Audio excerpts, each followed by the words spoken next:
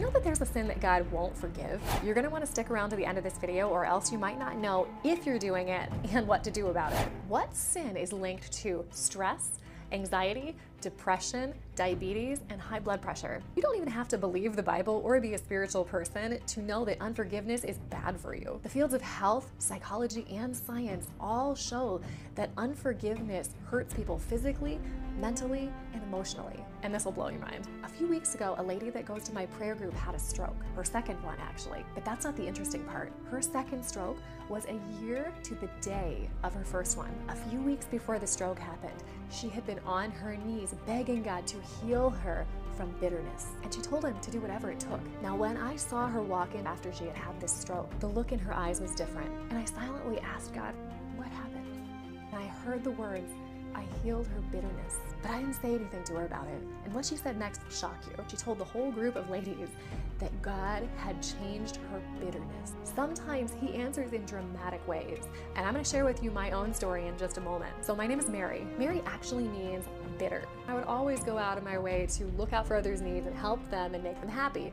People pleaser. But when my undying devotion was not returned in equal form, it would turn into bitterness. And I didn't know this at the time, but it was building up steadily for a good portion of my life. I was 30 years old and a stay at home mom of my four kids. We lived in an off grid tiny home that we had built ourselves. Well, it got to a point where I just could not handle life anymore. I was breaking out in hives, my allergies were getting worse, I was crying every day. Well, it got so bad that I couldn't sleep for days. I was having nightmares when I was awake. And one night, as we were pulling into our driveway, I got out of the car and collapsed face first in our gravel driveway. I was having extreme paranoia, panic attacks, all sorts of scary stuff. But even during this, I was crying out to God. And I promised him that if he got me out of this, I would serve him the rest of my life with everything I've got and I wouldn't hide my gifts anymore. But that entire experience and the recovery period afterwards shaped me. It melted away every ounce of bitterness and unforgiveness that I had ever had against anyone.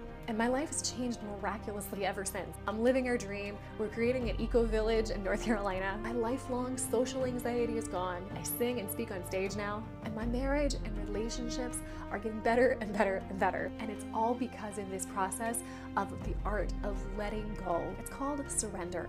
Now, thankfully, you don't have to go through a life altering experience like a breakdown or a stroke to have this kind of deep inner change. I'm gonna give you four steps that you can put to work right now. So, step number one ask yourself who you haven't forgiven yet. Number two, actively choose to forgive them. Because guess what? You are only hurting you by holding onto your past hurts and traumas. Step number three, ask God directly to reveal to you your secret sins.